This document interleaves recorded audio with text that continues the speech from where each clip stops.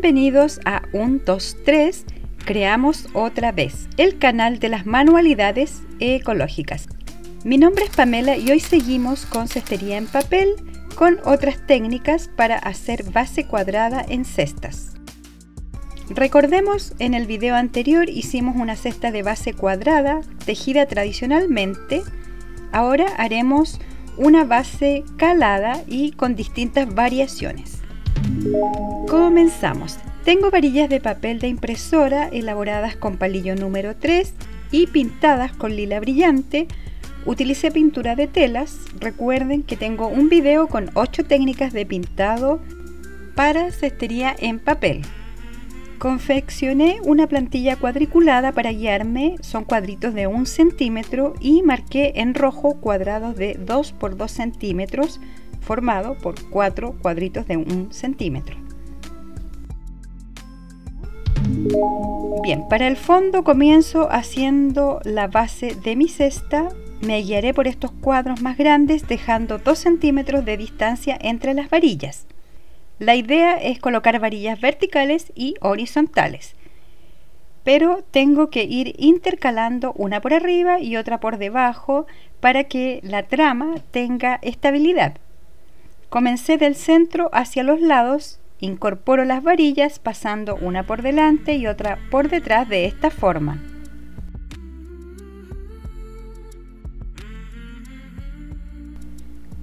Así vamos agregando varillas intercaladas.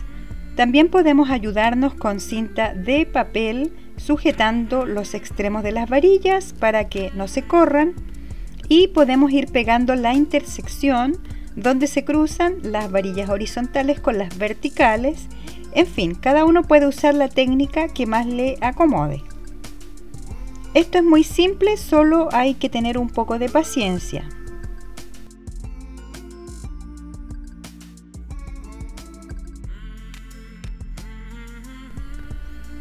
Así queda ya listo el fondo cuadrado de 12 centímetros por cada lado. Para hacer las paredes de mi cesta cuadrada, levantaré las varillas hacia arriba. Primero las esquinas, aproveché de juntar estos dos tubitos y así reforzar los cuatro lados de esta forma. Pego bien las esquinas para mantener la base cuadrada. Así ya podemos seguir levantando las otras varillas manteniendo la línea recta de los lados y marcando bien el punto del ángulo. Por ahora no se mantienen fijas, pero al comenzar a tejer las paredes ya eh, se formará el ángulo recto. Uní dos varillas para tejer combinando dos colores. Esto es a elección, por supuesto. Doblé la varilla dejando un tejedor lila y el otro celeste. Estoy tejiendo con doble varilla para dar más firmeza. Voy pasando un urdiente y hago una torzada. Este punto tradicional lo hemos hecho en varios videos. Trato de ir enderezando los urdientes hacia arriba. Tejo siempre igual como ven, van quedando intercalados los colores, el celeste por fuera y el lila por dentro y viceversa.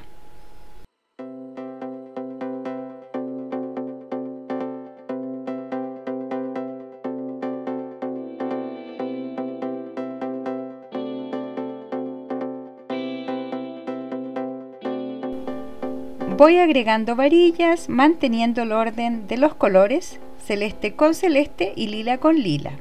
Introduzco el lado angosto de la varilla en el lado ancho de la otra con un puntito de pegamento. Continúo tejiendo por los cuatro lados, puedo ayudarme con pinzas. La primera vuelta es un poco complicada, pero después ya es más fácil.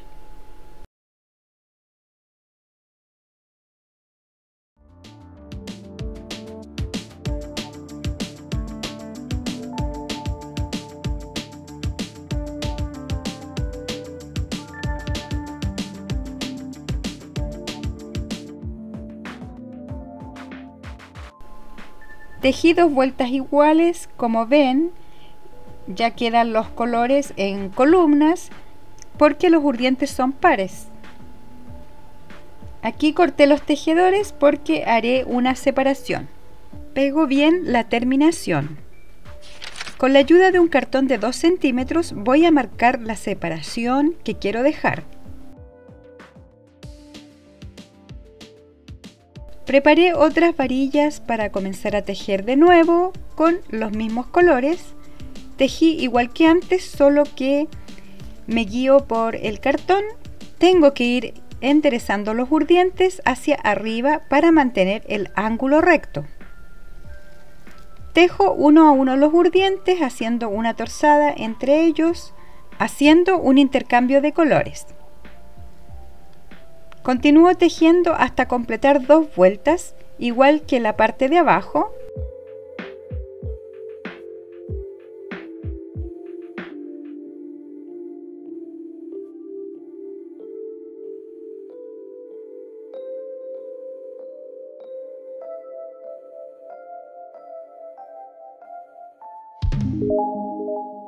Para hacer un borde decorativo en la última vuelta corté el color celeste y agregué lila. Dejo una vuelta más para después hacer las terminaciones.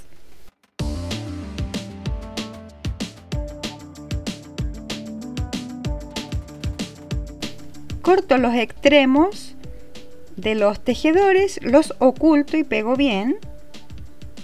Finalmente corto los excedentes de los urdientes, los doblo hacia adentro y pego por entre el tejido.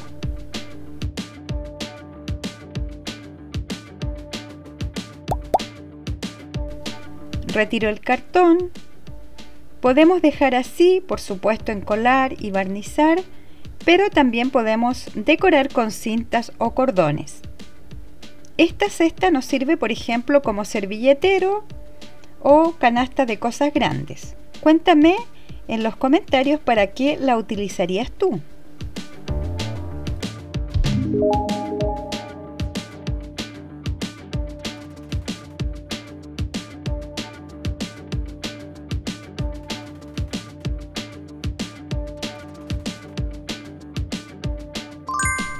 Tengo una segunda variación con la misma técnica, solo que menos calada, Utilicé dos tipos de varillas de papel, unas con palillo número 3, las azules, y otras con palillo número 5, las celestes. Las fui intercalando poniendo una fina y una ancha, una por medio, de esta forma. Así quedan las varillas verticales. En las varillas horizontales utilicé solamente azules, son 7, igual que en las verticales, solamente que en las anteriores íbamos intercalando una fina y una gruesa.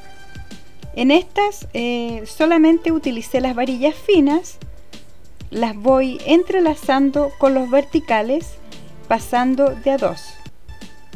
Dos por arriba, luego dos por abajo, así continúo. Esto es similar a lo que hicimos antes, solo que aquí van con doble varilla. Vamos entretejiendo y ubicando las verticales y horizontales entrelazadas en las líneas de la cuadrícula cada 2 centímetros de esta forma. Así obtendremos el cuadrado perfecto. Así completé 7 varillas azules al igual que por el otro lado. Pego las varillas de las cuatro esquinas para mantener el cuadrado y las levanto.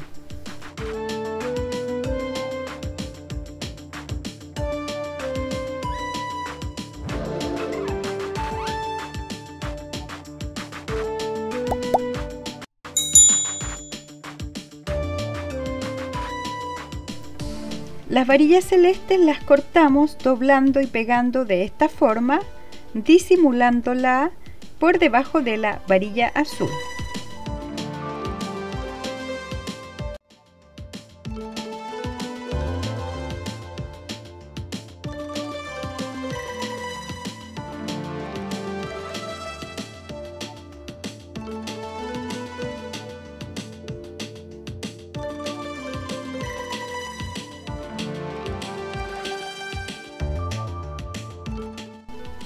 Así hacemos con cada una por ambos lados, dando vuelta el tejido para poder doblarlas y pegarlas todas. Ahora sí podemos seguir con las paredes de nuestra cesta cuadrada. Para tejer comencé con las varillas anchas, las celestes, hice otro punto diferente a la cesta anterior, el más básico, simplemente pasar el tejedor por delante de un urdiente, luego por detrás y así voy avanzando por toda la vuelta. Me ayudo con pinzas porque siempre la primera vuelta es un poquito complicada, cuesta mantener los urdientes verticales, pero ya en las demás vueltas eh, se mantienen bien erguidos. Termino donde comencé esta vuelta pegando bien, obviamente podemos hacer cualquier otro punto que nos guste solo les muestro otra opción. En la primera cesta tejimos con doble varilla, aquí es solo con una varilla. Agregué un tejedor azul ahora y tejo igual, solo que intercalando al contrario de la primera vuelta, es decir, si la primera pasa por delante, ahora el tejedor pasa por detrás y viceversa.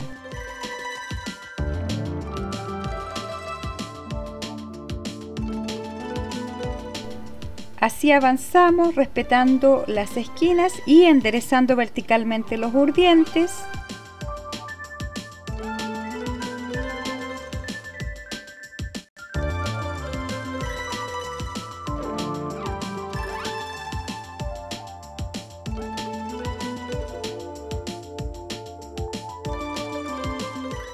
Hice dos vueltas en la cuarta vuelta nuevamente tejí con varilla ancha, con la celeste, para combinar con el diseño de la base.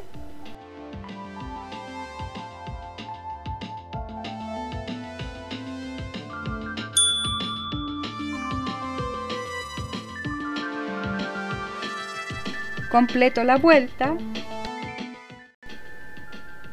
y finalmente la quinta y sexta vuelta nuevamente las tejí con las varillas finas, con las azules, igual que en la segunda y tercera vuelta. A esta altura la dejaré, ya puedo doblar y pegar los excedentes de los urdientes de esta forma.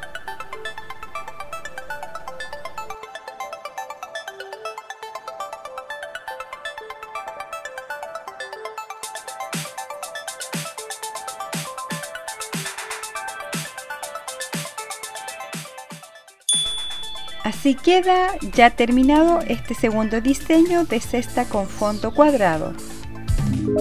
Aquí tengo otras variantes, esta con varillas anchas en la base y las paredes con varillas finas, tejido doble, se pueden pintar después de haberlas tejido.